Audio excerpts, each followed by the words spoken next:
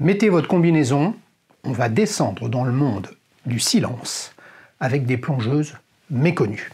Comment? Bah, Simplement, on va découvrir, à l'aide de 5 avis déposés par d'authentiques clients sur www.dalichous.com, des superbes montres. À la fin de cette plongée, vous et moi aurons la possibilité de voter pour notre plongeuse préférée. Ok, les amis, comme le font les plongeurs? Allez, on plonge dans les profondeurs avec la Squall 1521 racontée par Chronoflexion. La marque Squall a été créée en 1959 par le couple Charles et Hélène von Buren à Neuchâtel, en Suisse. Passionnés de plongée, de sport aquatique, les fondateurs surfent sur le domaine de l'horlogerie sous-marine, secteur à l'époque encore inexploré. Le nom de la marque vient du mot requin en italien. En parallèle de la création de plusieurs modèles de montres portées notamment pour de nombreux corps de l'armée italienne, la marque va aussi produire des boîtiers pour des illustres marques, Blancpain, Heuer ou encore Zinn. C'est en 1968 que les montres Squall forgent leur légende en contribuant au record de plongée apnéiste équipée de la Squall Master étanche à 500 mètres.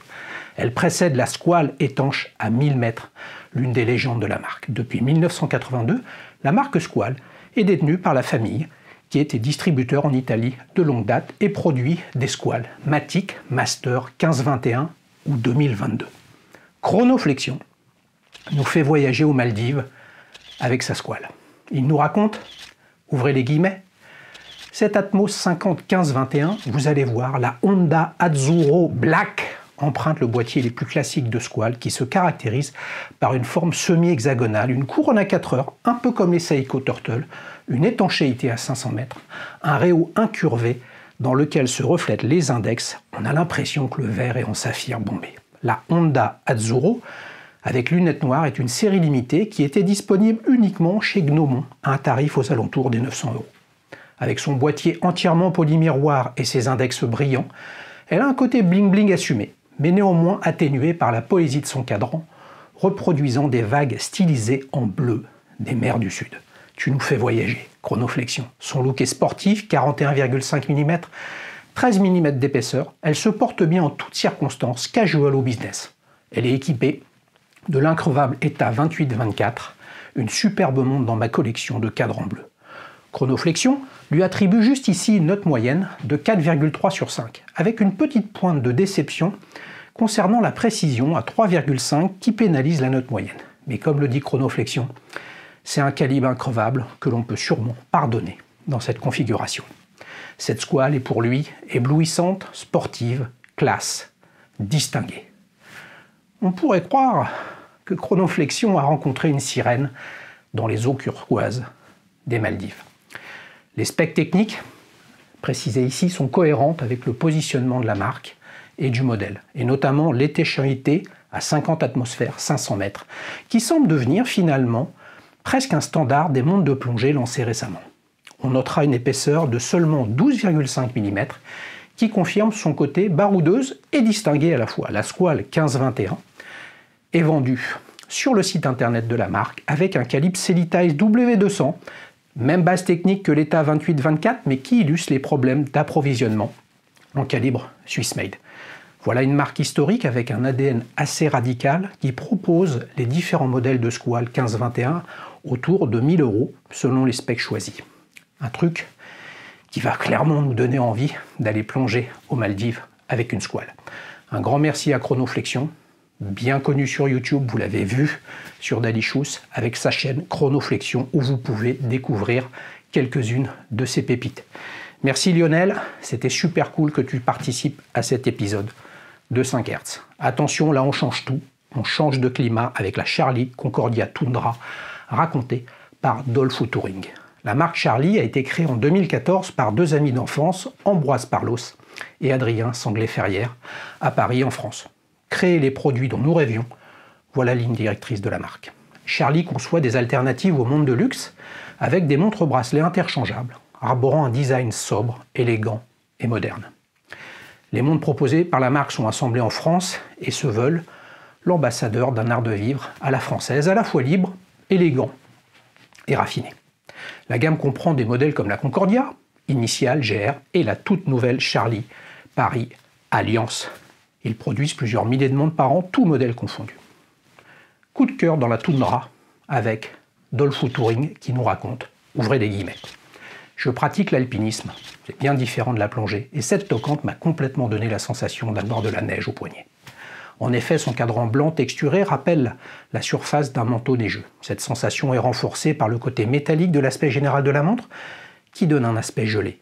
Vous l'avez compris, l'univers hivernal est l'ADN de ce modèle.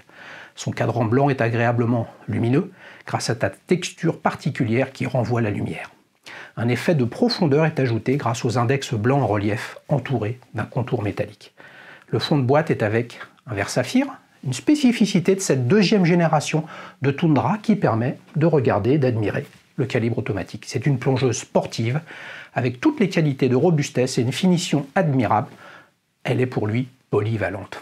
Il possède, elle possède, pardon, d'après lui, un petit défaut. Et oui, un manque de luminosité dans le noir, uniquement au niveau des aiguilles, nous dit-il, et l'absence de luminescence sur la lunette. Cette modèle, ce modèle pardon, est une pièce importante de ma petite collection, très qualitative, avec un prix super compétitif. Il lui attribue une note moyenne de 4,1 sur 5, et elle est pour Dolph Touring, superbe, robuste, polyvalente. Les specs techniques, juste ici, sont simples et cohérentes avec le positionnement tarifaire de cette deuxième génération de Concordia Tundra équipée du calibre Swissmed Soprod P024, lui-même également basé sur l'architecture ETA 2824.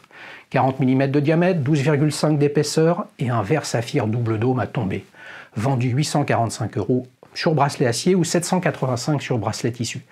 Le prix a un peu augmenté ces derniers temps, la marque s'est complètement expliquée sur le sujet c'est un modèle qui est plébiscité. Rendez-vous compte, déjà 4,4 sur 5 avec 9 avis sur la Charlie Concordia.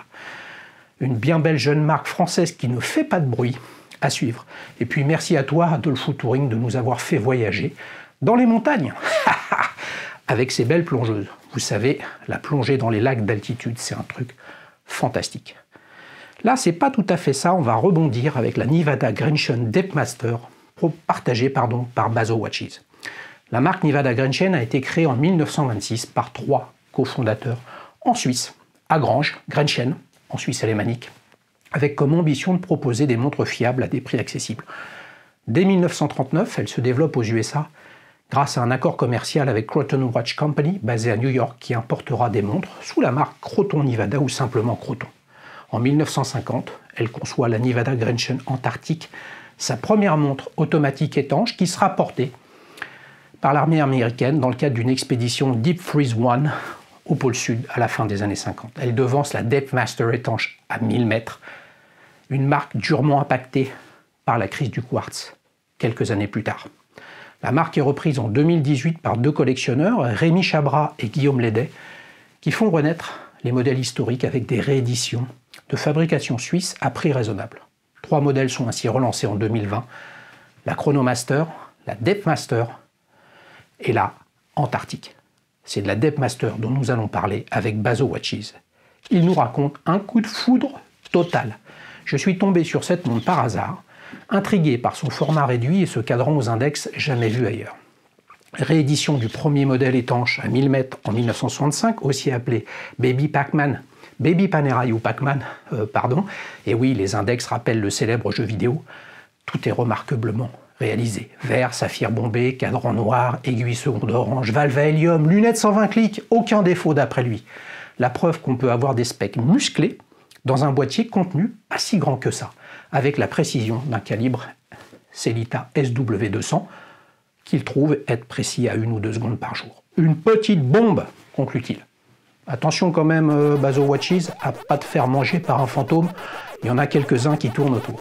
Fort logiquement, il lui attribue une note moyenne de 5,5, un truc de malade, preuve de son enthousiasme. C'est un sans faute pour Bazar, Bazo Watches, pardon.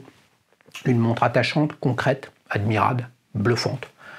Elle est proposée à 950 dollars sur le site internet de la marque sur bracelet cuir et à 1150 sur bracelet acier. Les specs techniques sont comme ça, assez proches de la Charlie Concordia de Dulfo Touring, mais avec une différence importante l'étanchéité à 1000 mètres et le bénéfice, certes théorique, d'une valve à. On peut toujours se demander, les amis, avec un vote comme ça à 5 sur 5. Il suffit d'aller voir le profil de Bazo Watches sur la plateforme d'Alichus et vous comprendrez qu'on a affaire à un fin collectionneur, notamment de plongeuses radicales. Et s'il nous dit 5 sur 5, regardez son profil, je pense qu'il sait de quoi il parle. Allez, on part en Allemagne avec la Stowa Provider partagée par Lolo 4529. La marque Stowa a été créée en 1927 par Walter Storz à Force 9 en Allemagne. Elle a depuis sa création produit des montres militaires et d'aviateurs qui ont forgé sa réputation de robustesse. Pour autant, elle proposa dès 1938 des modèles inspirés du Bauhaus qu'on a vu sur la chaîne dans un duel time avec la Stova Antea.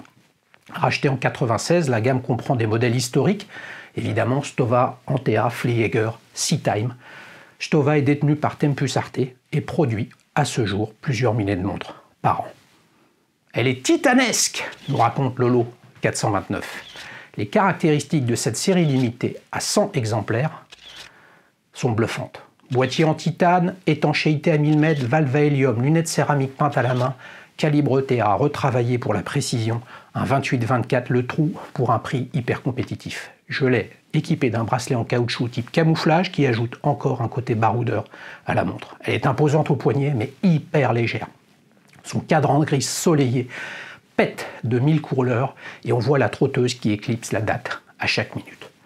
Lolo 4525 lui attribue une note moyenne de 4,8 sur 5 avec un petit entre guillemets 4 sur le confort, sans doute lié à l'épaisseur de la bête, 15,6 mm quand même pour un boîtier de 42.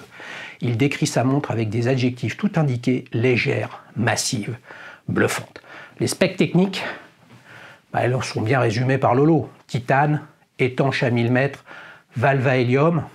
Ah, c'est pas loin de la Nivada Grenchen, mais on est à 1790 euros, avec différentes options en série limitée ou non. Un grand merci à Lolo 4529 et pas 4525 comme dit précédemment pour sa participation à Touch Stowa.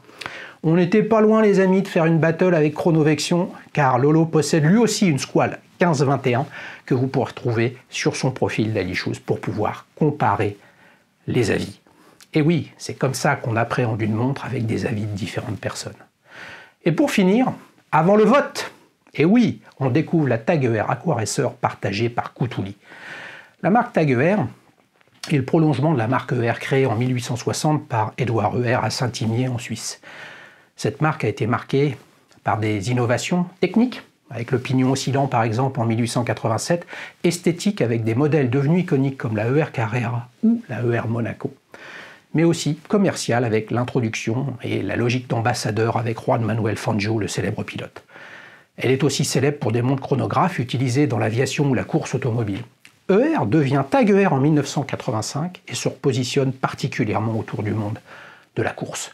La gamme actuelle comprend la Tag ER Carrera, la Monaco, la Formula One, de superbes montres à des prix accessibles. C'est une filiale du groupe LVMH qui produit aujourd'hui à peu près 400 000 montres par an. Koutouli nous raconte que cette Tag Heuer Aquaracer calibre 5 est sa première montre. Comme moi, Koutouli, eh oui, j'ai démarré avec une Tag Heuer série 6000. Il continue, ouvrez les guillemets, jeune agent des douanes, à la frontière franco-suisse pendant quelques années, j'y ai appris progressivement à aimer les montres. Bien que portant une Garmin tous les jours pour le travail et pour le sport, Quelques mois plus tard, je pousse pour la première fois les portes d'une bijouterie. Une fois, puis deux fois, finalement fin 2021, en adéquation avec les valeurs de la marque, mon utilisation et surtout mon budget. Mon choix se portera sur cette Tag Heuer Aquaracer calibre 5. J'en suis ravi et très content de vous la présenter sur la plateforme. Eh bien écoute, voilà un bel hommage, simple, fait de peu de mots, pour une note moyenne, juste ici de 4,3 sur 5. Des notes très équilibrées sur l'ensemble des critères évalués, dans la ligne droite, comme les unodières dira-t-on, Koutouli qualifie sa montre de cohérente, sportive et réfléchie. Les specs techniques sont simples, peut-être un peu trop simples pour une plongeuse étanche à 300 mètres et commercialisée 2150 euros. On peut se poser la question si on s'arrête seulement à ces caractéristiques. Mais Taguer véhicule une trajectoire, un patrimoine, une marque, des champions qui font beaucoup rêver. Et est-ce que cela a un prix, ce rêve? Les amis, vous avez 4 heures pour me rendre votre copie. Merci à Koutouli Tu me rappelles mes débuts dans l'horlogerie avec Tag Heuer et nul doute que cette première montre en appellera sûrement d'autres. Les amis, ça va être le moment pour vous et moi de choisir celle que vous préférez. Alors pendant que les autres planchent sur l'épreuve de philosophie horlogère, et eh oui, il faut bien qu'ils bossent, c'est le moment de faire votre choix parmi ces cinq plongeuses sorties des scientés battus en partageant de nombreux points communs, notamment en termes de mouvement et de gamme de prix. On est entre du proche de 1000 et 2000 euros. Je vous avoue que mon cœur balance entre plus ou moins de raison ou plus ou moins de passion. Mais je ne me préoccupe pas du prix de vente. Eh bien, je vote pour la Stowa, pour son côté brut de décoffrage, et aussi pour la capacité de la marque à proposer autre chose que ces modèles Flieger emblématiques, somme toute vus et revus. Merci Lolo Je vote pour toi et ta Stowa Provider. À vous les amis de faire de même dans l'onglet Communauté. Et sur ce, je vous dis à bientôt sur Dalichus et 5 Hz pour découvrir de nouveaux modèles que vous ne verrez nulle part ailleurs.